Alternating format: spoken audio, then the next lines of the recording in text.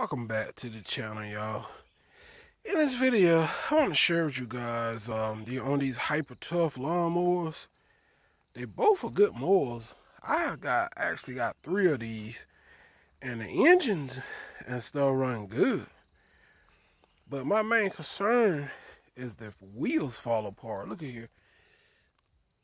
The wheels fell apart on this one. Yeah the frame on this one is real bad.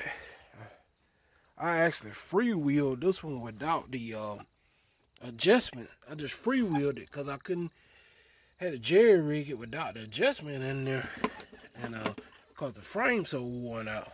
So um, I'm gonna order a new one anyway. But this one here, just want to let you guys know I had two of them, three of them, and all of them actually fell apart on the wheels the motors and stuff like that is great. It's the wheels where they fall apart at. As long as you can figure out a way and wheel, put some extra wheel or something with them wheels and stuff at, that's pretty cool. But I think I'm going with a different kind this time. I don't think I'm gonna go back to ordering this one. I'm looking at a Yard Max more.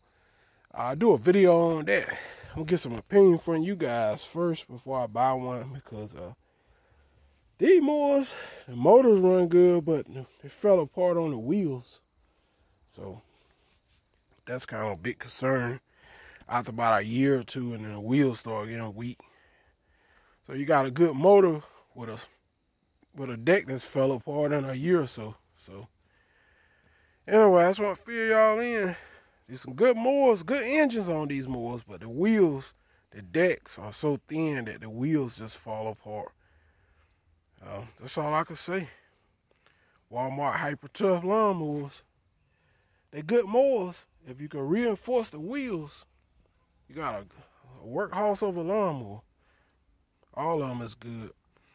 Till next time, I hit y'all on the next. I'm out. Peace.